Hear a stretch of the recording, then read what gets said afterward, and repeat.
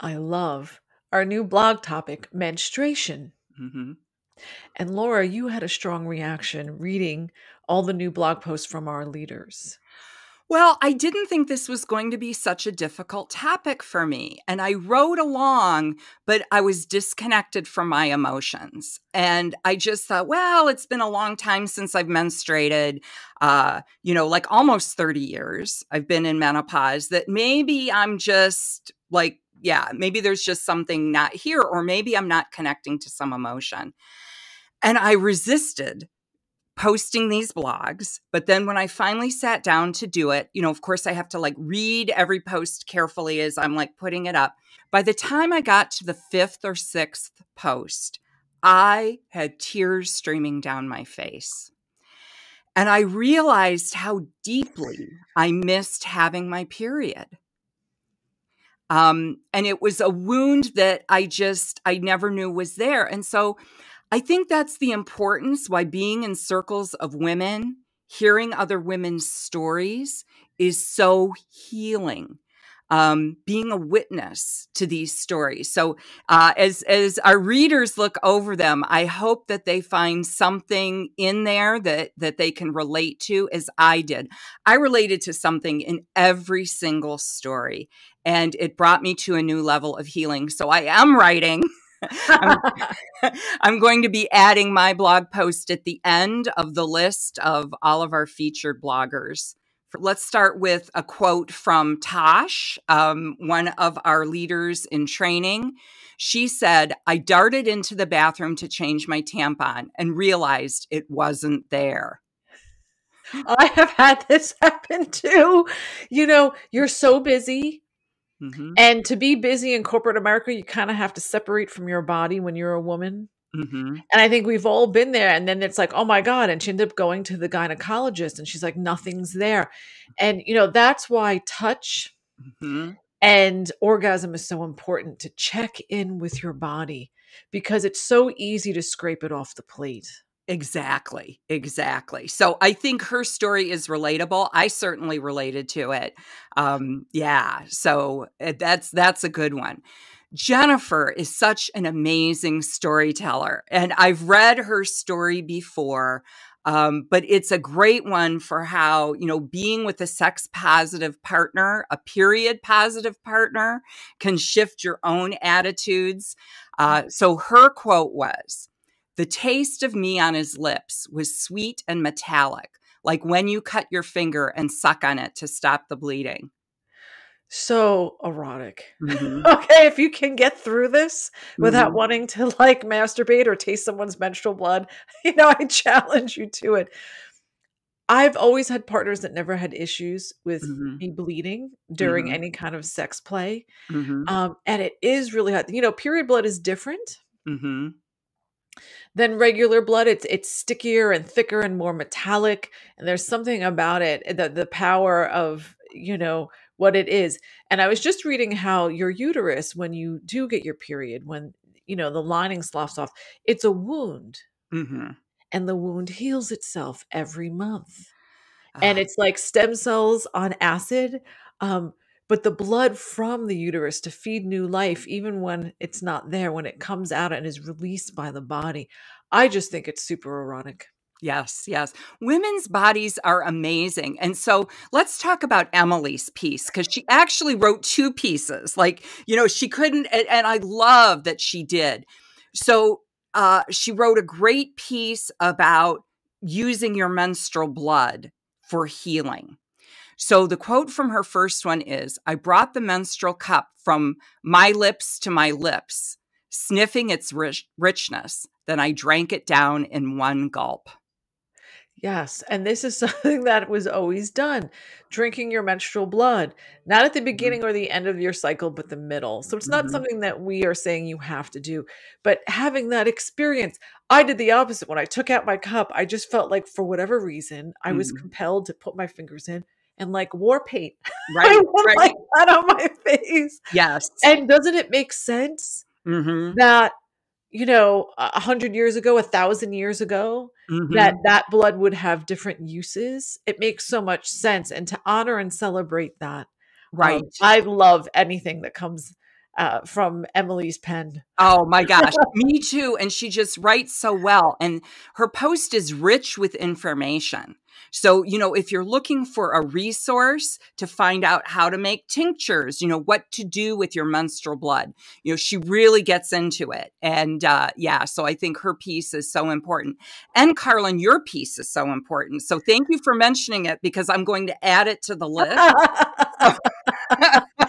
well, you know what I was? I was turning 45 and I remember thinking like Betty used to always say, Carlin, I know it sounds crazy, but you're gonna miss your period. Right. And I went, Oh no, the bloating and the cramping, and I was always bleeding through everything. And then I thought, wow, I'm 45.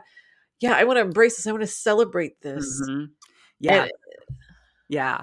Yeah. No, the the power of men your power as a menstruating woman really comes through in that post. So yeah, I, I will definitely add it because it just goes right along with this. Um, Emily's second piece is just starts out like I laughed out loud. Um, so she describes a scene where she's at work and it's happened to like all of us you know her like like where you just make a mess right? Um, you don't mean to but your menstrual blood makes a mess in a public space. Um, so her quote for the second one is the full overflowing cup did an acrobatics routine, jumping out of my hand, twirling towards the floor, and, a, and in a spectacular firework display, bedazzled the surroundings with a million blood sequence.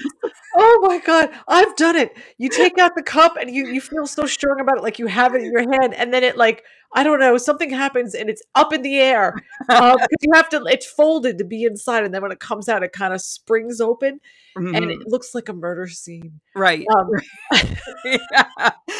So yeah, her whole description of like coping with menstruating while at work. Uh, and I it's a fun read. It, it's a great read, and how she talks about we're living in a world created by non-menstruating bodies right? And so we're supposed to hide what's going on for us. Um, it's a beautiful, beautiful piece. Both of her pieces, amazing. I always love, like you said, whatever Emily writes, I'm in. so next we have Amy, and Amy mm-hmm. Weisfeld has been one of our longest certified Bodysex facilitators, practicing in the Northwest United States. She's near Portland, Oregon, but she actually holds her workshops in Washington State. Um, yeah, so her writing is always spectacular.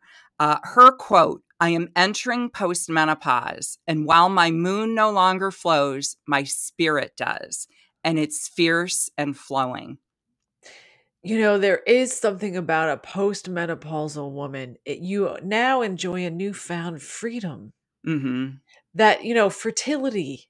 Yes. And it hangs over our lives, especially now that we're living in an era where healthcare is limited for women. Mm-hmm. So all of a sudden now you're free. And Betty and I saw this in the workshops. Women in their 50s and 60s, oh, they hit their stride. That whole idea that our vaginas dry up and we don't want to have sex is not what we experienced. Yeah. And this is what Amy is sharing uh, a sense of freedom and new life and new beginnings. And mm-hmm. it's so true. Yes, yes, absolutely.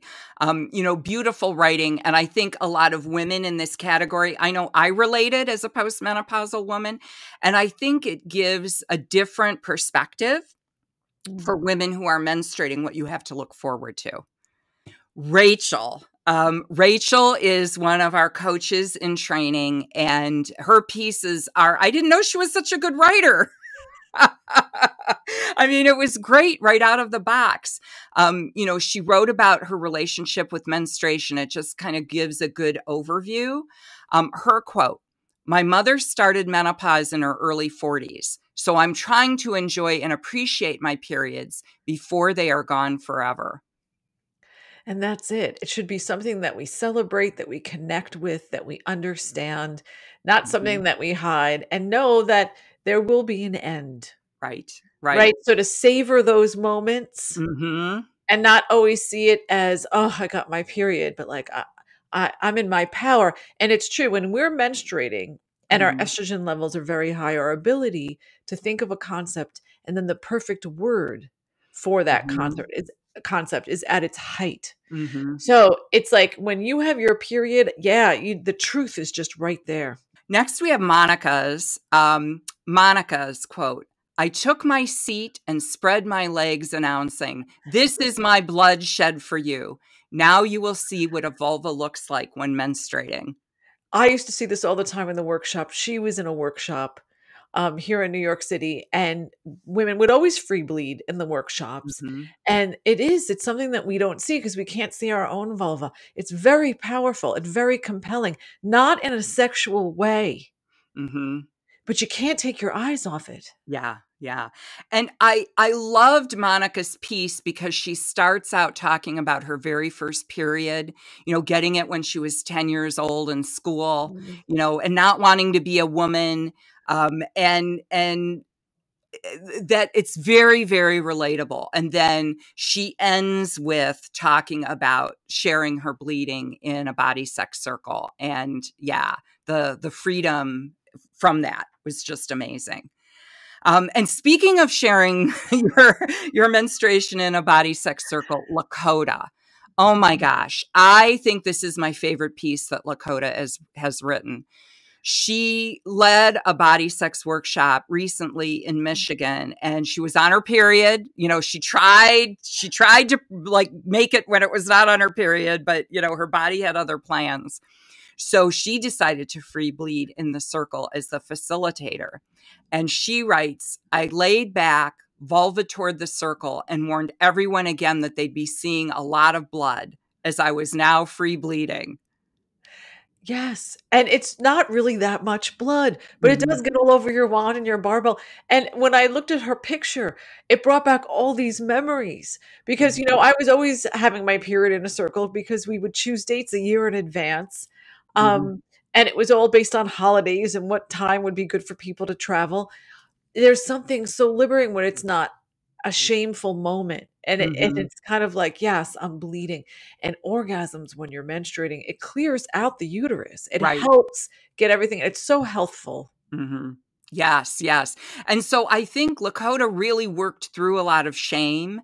I mean, her whole piece is about this experience of free bleeding and and you know how it shifted her mindset um and how she's appreciating her menstruation in a whole different way. We hope you enjoy these pieces and we hope you connect to your menstruation wherever you are, if you're on the other side of it, or if you're right in the middle, or you're right at the beginning. Mm-hmm.